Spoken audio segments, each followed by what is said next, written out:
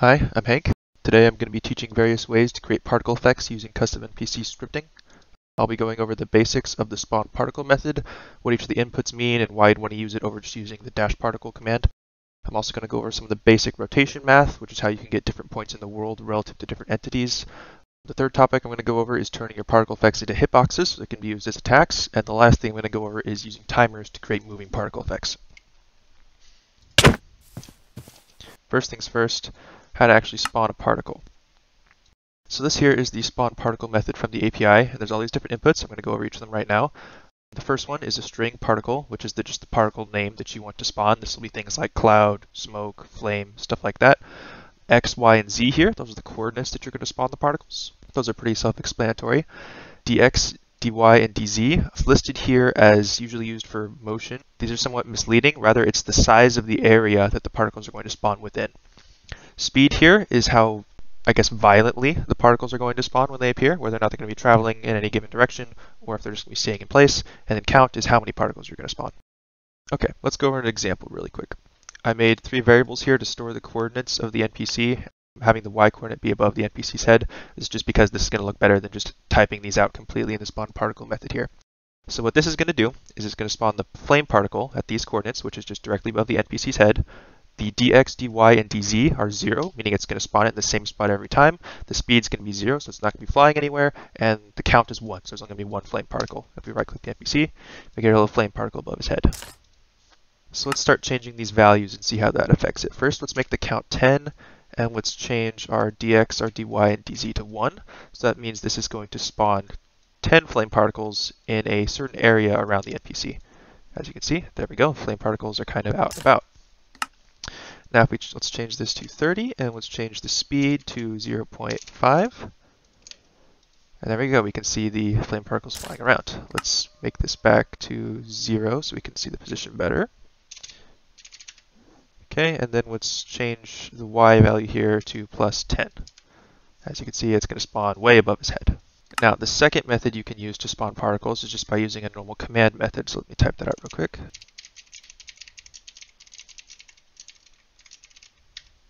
Okay, so I pasted some uh, particle commands over here because I can never remember them. So let's just go with the flame one right here. Let's comment this one out.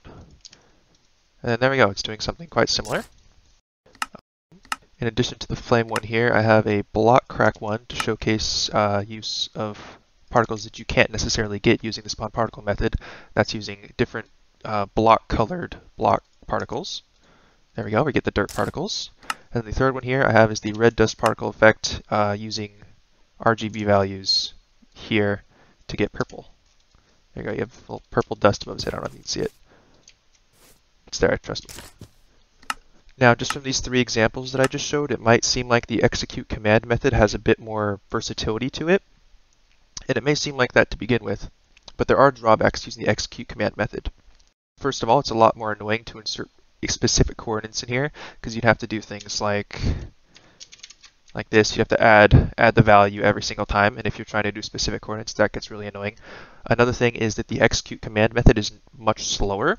It may not seem like that when we're just executing one command, but if you have for loops where you're executing this like 200, 300 times, you'll really start to notice the performance slowing down. Okay, I think that's it for the basics. Now let's move on to the hard part, relativity.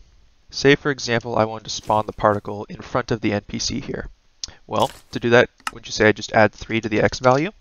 Just, you know, spawn at 3 in front of the NPC. Uh, let's change the y back down to 1 here. And then do that. Well, if I have 3 on the x value, it's going to spawn 3 in the x direction. It's not going to spawn 3 in the direction that the NPC is looking. So how do we get that to happen? If you're familiar with the NPC's AI tab, you'll know that there's this rotation here. What this rotation is, is it's the NPC's actual rotation in the game world. So 0 is going to be having him face down, I believe, pos positive z, and then 180 is going to have him face down uh, negative z, and so forth. Now we can use this angle that the NPC is facing with trigonometry to get locations in front of the NPC. So how we get that angle is going to be using the get rotation method. So this is going to tell us that the, the angle that the NPC is currently facing. Let's just set this up real quick. Okay, so now when I right click the NPC, he's going to tell me which direction he's facing. Let's uh, count this out for now. He's facing 180, he's turning a little bit, you know, it's 160, 129, and so on. Now, because this angle is fixed relative to the game world, we can actually use trigonometry to get the locations in front of the NPC. So to make two variables here. I'm going to make a dx and a dz. What these are going to be is this is going to be the x component of the direction in front of the NPC, and this is going to be the z component of the direction in front of the NPC. So according to our trigonometry, the x component is going to be the sine of the angle, and the z component is going to be the cosine of the angle. Now, because uh, ECMAScript's sine and cosine functions use radians, we need to convert this angle into radians, because as you saw when we had the NPC say this earlier, it gave it to us in degrees. So how we convert that to radians is we use math.pi divided by 180. So we gotta do this for both. So now these dx and dz here, these are gonna give us the directional components of where the NPC is facing. One last thing we need to do is because Minecraft's axes aren't oriented like a normal graph's axes, we need to throw in a negative sign right here so that everything works normally. Now let's move these up here, change this to this, and then the coordinates that we're going to spawn our particles at now is going to be x plus dx and z plus dz. Now the reason we do this is x here is where the NPC is. Actually, we need to get rid of that first. And then dx is a component in the direction the NPC is facing, and then same for Z here. So what this should do is this should spawn our flame particles one block in front of the NPC. As we can see, it does. Now if I have him turn, it's still spawning the particles one block in front of him. If we wanted this to be further, we could just multiply this out. So let's just add a scalar of 3 to each one, and let's make these particles move a little bit. So three blocks in front of him is where it's going to spawn the particles now. Now, say we didn't want these particles to spawn in front of him, we want them to spawn behind him. Well, we already have the angle. If we want the angle behind him, it's obviously going to be 180 behind him. So if we do angle minus 180, it should now spawn them behind him. There you see, particles are behind him now. Okay, I think that covers the basics of rotation math. Let's move on to making hitboxes. The general idea is to use the get nearby entities method whenever you spawn the particles uh, at the same place that you spawn the particles. So let's type that out real quick. So let's make a variable that stores the entities we're going to hit.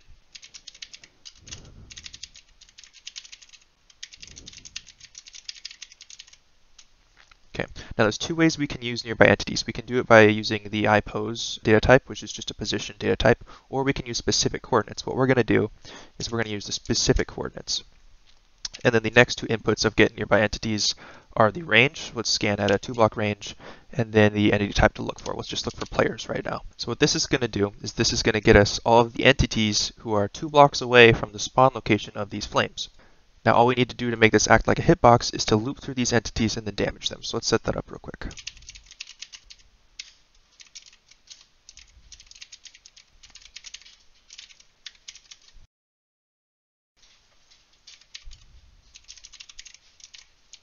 This is going to do is after it acquires the entities near where the particles are spawned, it's going to go through each one and it's going to damage them for two hearts. So let's see, where is he spawning these? Spawning behind him, let's make you spawn them in front. So if I stand close to where that is, and if I'm in survival, it's going to damage me for two hearts.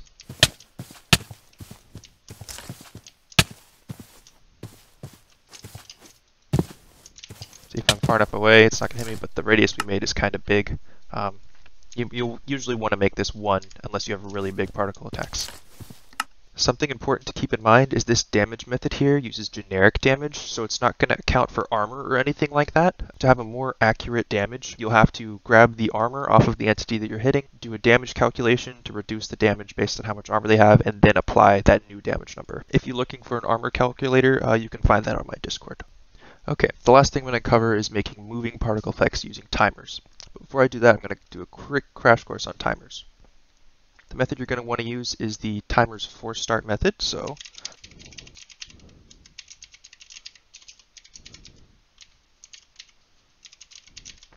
what this is going to do is it's going to start the timer of ID 1. First number is the timer ID. Second number is the length of the timer in Minecraft ticks. 20 ticks is one second for Minecraft. And then the boolean here at the end is if that timer is going to automatically repeat or not. So down here in this timer hook, we can set up our triggers. So if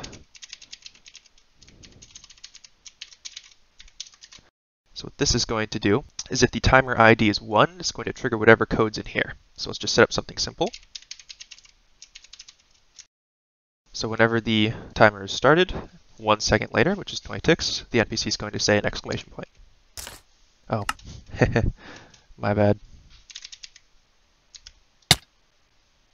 And there we go. Now let's set this up so that it's spawning particles for us. How we're going to do that is first let's move this down to our timer function. Let's also move our these variables down to our timer function.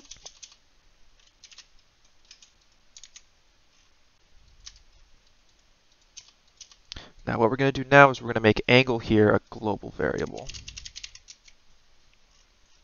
And then we're going to update angle whenever we right click the angle, the NPC. And we're just going to start it at, we'll start at zero. Okay, and then let's get rid of our original angle here, and let's move our little hitbox function back down here. So when we start the timer, this is going to do pretty much the same thing. It's going to spawn the particles based on the angle here, but the angle we're setting to zero here. Don't worry, we're going to update it later. And then we have angle declared outside of any functions here, just to treat as a global variable. You know, let's put that up here just so it's clear what's a global variable. There we go. So we'll right click the NPC. At one second later, we should have particles spawning at angle zero, which should be over there. There we go. Now what we want is we want this to have the particles move. How we're going to do that is we're going to set this timer up to repeat. So set this to true.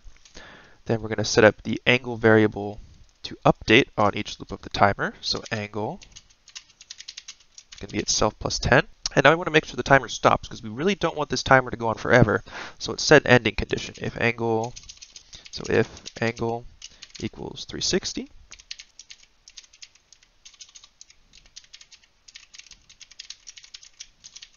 There we go. So if the angle reaches 360, stop the timer. Actually, just to make sure, let's do uh, it's greater than 360. Okay, so what's going to happen is the NPC is going to start the timer. Angle is going to start at zero. It's going to spawn the, the particles at the appropriate coordinates. Then it's going to update the angle each time the timer loops. And then that angle is then again going to be used in the calculation of the new particles. Now let's make these not move as much just so we can see it better. Okay, let's give it a go. Actually, let's and then let's make this way faster. There we go. And there we go. Particles are moving around. And then as you can see, if we get hit by this little string here, it does damage to us. So I think that's everything I wanted to go over. If you have any more questions, you can either comment or you can join my Discord. I'll try and answer as much as I can. If there's any more topics you want me to go over, let me know that as well. Um, I think that's it. Bye.